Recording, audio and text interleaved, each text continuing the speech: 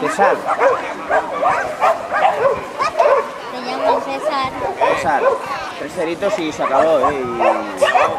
Y nos vamos para Madrid ya. ¿eh? Demostramos lo que tenemos, demostramos lo que tenemos que demostrar y.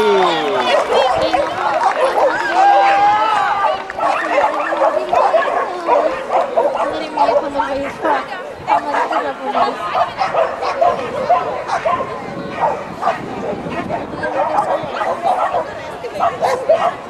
¿Cuántas horas puedo?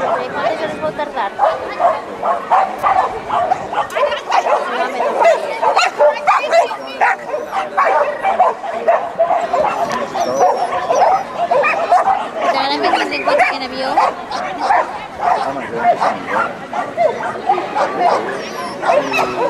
god.